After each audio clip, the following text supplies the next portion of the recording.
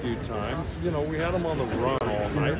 Look, it's it, you know, sometimes a guy just runs so much it's hard to catch up to him. But it was a great 12 rounds for Ryan. Look, sometimes going 12 rounds, if you've never done it before, kind of gives you that confidence. Oh, if I now, if I ever go 12 rounds, I know what it's Yeah. like, and I, you know, so it's a great experience for him. Um, but again, he didn't get hit.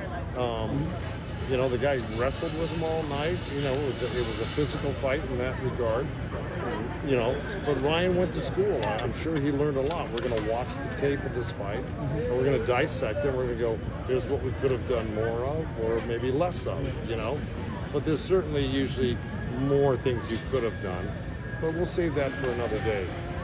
But as far as today went, I thought after being out for a year and a half against a guy who's got 30 something wins, maybe 31 wins, he's only lost one fight. And that was very early, maybe his first fight in his career.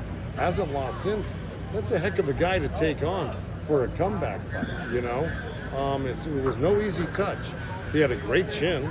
You know, those guys from Ghana are very tough. That's where Zuma Nelson came from. Ben Tackie. I, I, I trained a bunch of guys from Ghana. They're- Huh? Clottey, Yeah, uh, yeah, Clottey as well, and um, they're tough guys. They're trained well.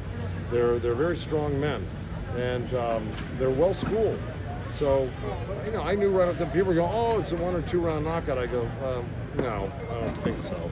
You know, you know, I, I thought it would go five, six, maybe seven, but I certainly thought we might have them out by nine, and we almost did a few times.